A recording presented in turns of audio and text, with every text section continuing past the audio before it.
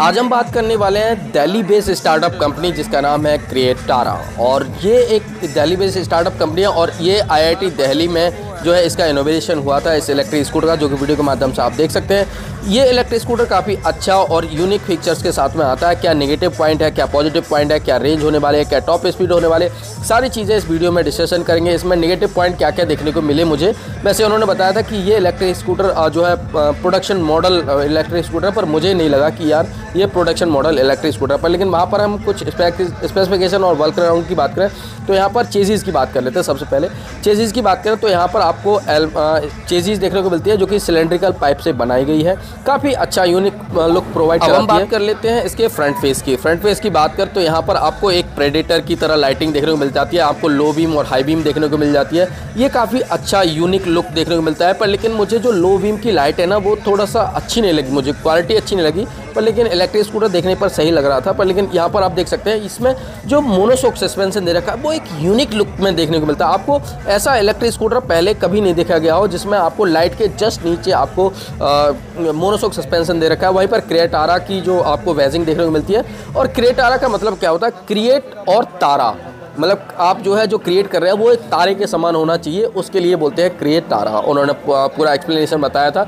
Video में आप कल की वीडियो देख सकते हैं उसमें जाके। वहीं पर हम बात करते हैं टायर की। रेलको कंपनी के आपको टायर देखने को मिल जाते हैं, काफ़ी अलग है। और ये डर्ट बाइक की तरह ही आपको देखने को मिल जाते हैं इसमें इलेक्ट्रिक स्कूटर के टायर। और ये टायर का जो साइज़ है, वो बारह बाई सत्तर का टायर आपको देखने को मिल जाता है। और ये ट्यूबलेस टायर है, जो कि काफ़ी यूनिक लुक प्रोवाइड कराता है। वहीं पर हम आगे चलते हैं तो यहाँ पर ये स्वेपेबल बैटरी देख रखी है, जो कि मैं आपको दिखाऊँगा यहाँ पर। आप देख सकते हैं, यहाँ पर है मोटो क्रॉस यहाँ पर ब्रांडिंग लिखा है कुछ, और इसका मीन्स है।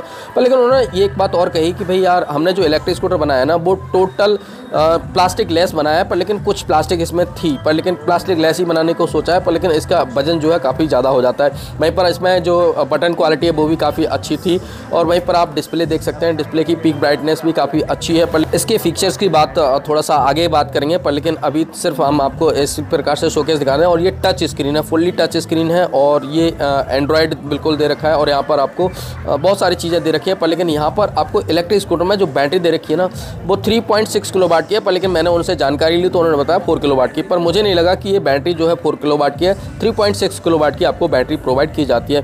काफ़ी अच्छी बैटरी है और लिथियम आयन बैटरी है और एनएमसी केमिस्ट्री की बैटरी आपको देखने मिल जाती है। रियर की बात करें, यहाँ पर ये लोहे का दे रखा है यहाँ पर और यहाँ पर हम बात करेंगे, ये जो है मोनोसॉक सस्पेंशन दे रखा है। यानी कि फ्रंट में भी मोनोसॉक सस्पेंशन है और रियर में भी मोनोसॉक सस्पेंशन है। वहीं पर मोटर की बात करें तो मोटर आपको फोर किलो वाट की आपको मोटर देखने को मिल जाती है, जो कि एसी मोटर और आप इसमें जो ट्रांसमिशन देखने को मिलता है वो वेल ड्रिवन देखने को मिल जाता है। काफ़ी अच्छा ट्रांसमिशन देखने को मिल जाता है। वहीं पर और नीचे चलते हैं और नीचे चलने के बाद में आप जो है टायर की बात कर रहे हैं तो रियर टायर जो है वो आपको फ्रंट में और जो रियर में दे रखा है, वो सेम ही टायर है टायर साइज़ सेम ही दे रखा है। और इसमें जो है डिस्क ब्रेक की बात करें तो यहाँ पर आपको डिस्क ब्रेक ए सिस्टम दे रखा है, चाहे आप रियर में ले लो, चाहे आप फ्रंट में ले लो रियर में आपको इस प्रकार का डिस्क देखने को मिल जाता है। इसका साइज़ अभी तक नहीं पता है। टायर भी आपको बारह बाई सत्तर का आपको टायर देखने को मिल जाता है। वहीं पर हम आगे देखते हैं तो यहाँ पर भी आपको फ्रंट में जो है डिस्क ब्रेक ही देखने को मिल जाता है। यहाँ पर आप देख सकते हैं, ये भी ए सिस्टम से सिस्टम है। यानी कि आप इलेक्ट्रिक स्कूटर चला रहे हो डर्ट में चला रहे हो मतलब गंदगी में चलाने के लिए है मतलब ऑफ़ रोड में चलाने के लिए इलेक्ट्रिक स्कूटर बनाया गया है। वहीं पर इसका ही दूसरा लुक आपको देखने को मिल जाता है दूसरा इलेक्ट्रिक स्कूटर जिसमें आपको वेजिंग आपको इस प्रकार से देखने को मिल जाती है आपको लाइटिंग भी देखने को मिल जाती है और ये एक लिमिटेड एडिशन है जो आपको सामने देखने को मिल जाता है वो एक लिमिटेड एडिशन है इसका नाम है B S four electric scooter ये एक लिमिटेड एडिशन है इसमें ये स्पेसिफिकेशन सेम है पर लेकिन कुछ अलग ही यूनिक डिज़ाइन आपको देखने को मिलते हैं। क्राफ्टेड इन इंडिया मतलब इंडिया में ही बनाया गया है। इस इलेक्ट्रिक स्कूटर पर उन्हें काम करते करते अब पाँच साल हो चुकी हैं और उन्होंने अपना इलेक्ट्रिक स्कूटर बना के तैयार कर लिया है। वहीं पर हम नीचे बात करते हैं, यहाँ पर बटन की तो मैंने बात कर लिया और यहाँ पर मैं बात करता हूँ, यहाँ पर ये इलेक्ट्रिक स्कूटर आपका इंडिया में पहला इलेक्ट्रिक स्कूटर है जो कि फिंगरप्रिंट करने से मतलब आपका बायोमेट्रिक से आपका इलेक्ट्रिक स्कूटर ऑन होगा। गाइज़ ये बहुत बड़ी बात है, आप सिर्फ़ अंगूठे को टच कीजिएगा इलेक्ट्रिक स्कूटर पर और आपका जिस प्रकार से मोबाइल ऑन हो जाता है, उसी प्रकार से ये इलेक्ट्रिक स्कूटर भी ऑन हो जाएगा। तो यानी कि ये काफ़ी अच्छा फीचर्स दे रखा है। वहीं पर हम बात कर लेते हैं डिस्प्ले की। डिस्प्ले डिस्प्ले की बात करें तो यहाँ पर आपको फुल्ली डिजिटल टच स्क्रीन देखने को मिल जाता है और यहाँ पर ये मूड दे रखे हैं जिसमें आपको एस ई e और आर राइड मूड देखने को मिल जाता है। ई e को राइड मूड देखने को मिल जाता है और यहाँ पर सुपर भी लिखा होगा। और वहीं पर आपको यहाँ पर किलोमीटर और यहाँ पर बैटरी परसेंटेज देखने को मिल जाता है। यहाँ पर ट्रिप देख सकते हैं। यहाँ पर कौन कौन सी ट्रिप है? आप मैक्स स्पीड और डिस्टेंस कितना है? और एनर्जी यूज़ है? किलोवाट कितना है?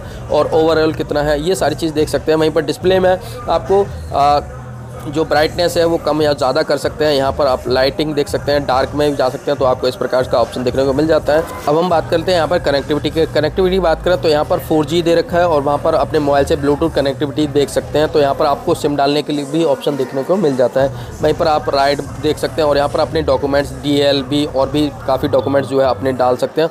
और यहाँ पर जनरल में आप देख सकते हैं चीज़ नो नंबर और यहाँ पर सॉफ्टवेयर और बैटरी पैक आई आप देख सकते हैं। तो ये सारी चीज़ आपको देखने को मिल जाती है। इतने सभी ऑप्शन आपको देखने को मिल जाते हैं। बाकी और डिस्प्ले में और कुछ नहीं दिया है। और शायद सॉफ्टवेयर के बाद में वो जो है और अपडेट आए। अपडेट के बाद में कुछ फीचर्स जो है चेंज हो सकते हैं। अब हम बात करते हैं इलेक्ट्रिक स्कूटर के निगेटिव पॉइंट की। निगेटिव पॉइंट की बात करें तो यहाँ पर फ्लोर बोर्ड आपको ये जो है एलपी से चिपकाया हुआ था, अलग से चिपकाया हुआ था। उन्होंने बताया कि ये प्रोडक्शन रेडी इलेक्ट्रिक स्कूटर है। पर ये उन्होंने क्या किया कि ये चिपकाया, ये अलग से पॉलीथीन कटिंग करने के बाद में इन्होंने ये आप देख सकते हैं वीडियो में।